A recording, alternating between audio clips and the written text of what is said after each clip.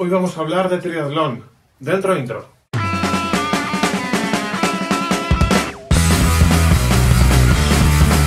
Como bien sabéis, el triatlón es un deporte individual de resistencia que reúne tres disciplinas deportivas.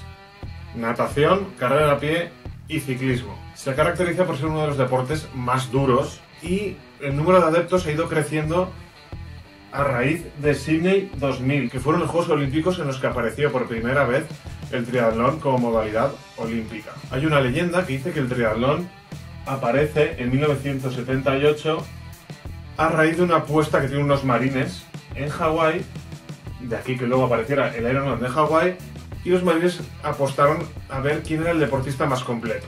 Si un nadador, un atleta o un ciclista. Pero, según Scott Tinley, entre 1920 y 1930, en Francia, aparece, según el periódico L'Auto, Le Trois Sports, Le Course de Débrouillard y Le Course de Touche à que son tres carreras que parecen ser un pre-triatlón. En 1974 en San Diego, la Mission Bay Triathlon fue el 25 de septiembre y es lo que ya se considera como triatlón moderno. Participaron 46 atletas. Pues bien, tanto esta primera carrera moderna como las francesas tienen en común que el orden era inverso. Es decir, primero corrían a pie, luego iban en bici y por último nadaban.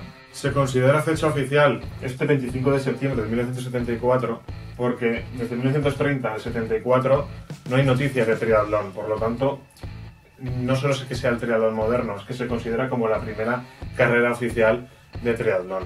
Vamos con las distancias. El Ironman, que es la carrera más dura, son 3.800 metros de natación, 180 kilómetros de ciclismo y 42 kilómetros a pie. La modalidad olímpica es inferior, tiene 1500 de natación, 40 kilómetros de ciclismo y 10 kilómetros a pie.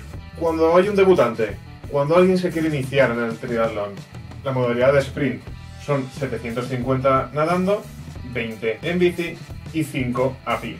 Luego está el Iron Kid, que es para los pequeños, que sería la mitad del sprint, pero para todavía más pequeños aún hay distancias menores incluso. ¿eh? La Unión Internacional Triathlon, la ITU, es la que se encarga de regular todo esto y de sancionar.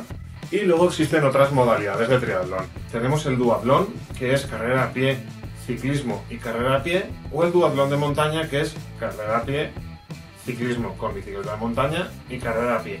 Tenemos el acuatlón, que es lo mismo pero con natación, carrera a pie, natación, carrera a pie. Y luego existe el triple tri. El triple tri son tres triatlones seguidos en el mismo día y sin descanso.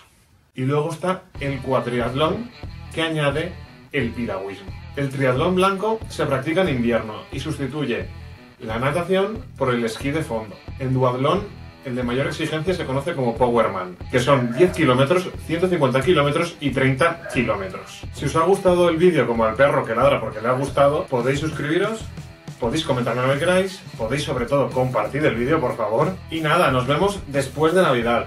Pero hasta entonces, ¿qué podéis hacer? Podéis seguir a Pizarredor por Twitter, que está activo todos los días a todas horas, escuchar los podcasts en ebooks de la pizarra de Doc, que ahí van a haber programas durante todas las navidades y hasta la próxima.